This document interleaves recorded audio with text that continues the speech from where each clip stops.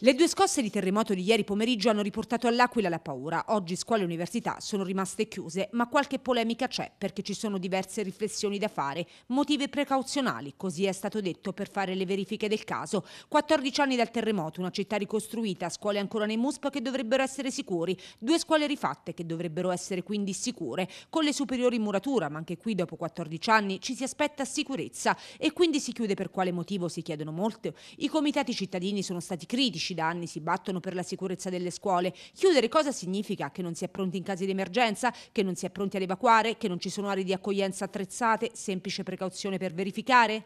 Non si può pensare a una zona sismica come l'Aquila che le scuole vengono chiuse con una scossa di 3.7.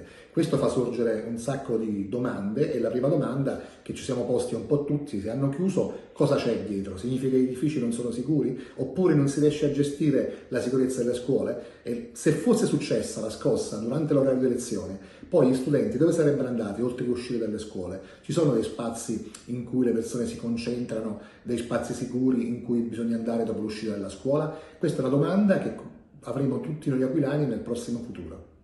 Per quel che riguarda il terremoto in sé, le scosse sono state due, ravvicinate, di magnitudo 3.6 e 3.7. L'area è quella dell'evento principale del 6 aprile, ma le profondità sono diverse. Il professor Gianluca Ferrini, docente di rischi naturali alla Teoria Aquilano e componente di Geolab dell'unità di crisi, unità di crisi che si è riunita proprio questa mattina in università, spiega che l'Aquilano è costantemente interessato da questo tipo di attività sismica.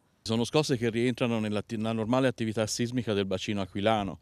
Uh, se noi guardiamo le scosse strumentali che ci sono state anche nei giorni precedenti, vediamo che l'attività è sempre in corso, anche se ovviamente non è percepita perché le energie liberate sono basse dal punto di vista appunto della meccanica del, del terremoto, cioè proprio del, dell'epicentro, si vede che la struttura che si è messa in movimento è la solita struttura a direzione appenninica con questa attività diciamo distensiva rispetto al bacino, quindi direi niente, niente di nuovo.